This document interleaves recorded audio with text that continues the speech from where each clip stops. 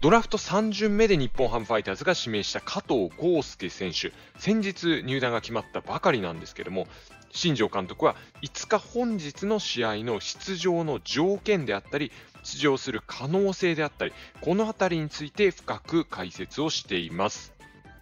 新庄監督は本日5日の加藤選手の出場についてこのように語っています。代打ぐらいだったらいいのかなちょっと聞いてみますね。振らなくても雰囲気やゾーンの確認などと、まあ、代打ぐらいだったらもしかしたら出場する可能性がありますと。まあ、ただそれは本人次第であり、まあ、いろんな人にヒアリングしたり、まあ、いろんな人に相談したりして、まあ、出れれば出したいなというようなことですね。新庄監督は加藤選手に対してものすごく大きな期待をしているように見えます。メジャーデビューをした試合をまずテレビで見ていたと。そして1塁から2塁にタッチアップするアグレッシブな走塁を見て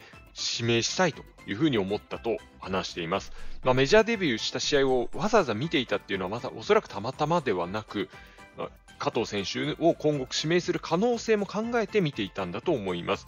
そして入団会見では5番、6番セカンドで期待していると。加藤選手はセカンドでありながら身長もありますし、長打もあるというところで、やっぱりクリーンナップであったり、6番あたりをセカンドで期待しているということですね。そして順位としても、ドラフト3位という、まあ、かなり高い順位での指名です。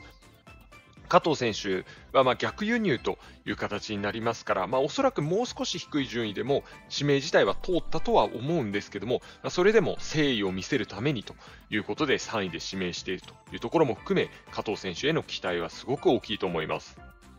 今回の加藤選手の獲得というところであったり、その後の試合の出場の流れとか見てみても、やっぱり新庄監督だからこそ、ここまでできたっていうところがあるのかなと見ています。逆輸入選手をドラフト3位で指名するっていうのは、やっぱり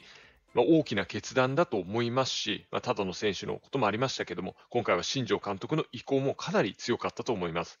そして入団会見の直後にフリーバッティングをもう練習してもらっているというところのスピード感であったり、入団会見の翌日にもう試合に出場させられるかもしれないとか、まあ、そういったことっていうのは本当に新庄監督ならではで、新庄監督が今日ハムの監督やってるからこそこう見れる楽しいエンターテインメントの一ついうふうにも見れますので、今後、プロ野球をもっと楽しませてくれるように、まそして加藤選手の活躍というところも期待しています。ありがとうございました。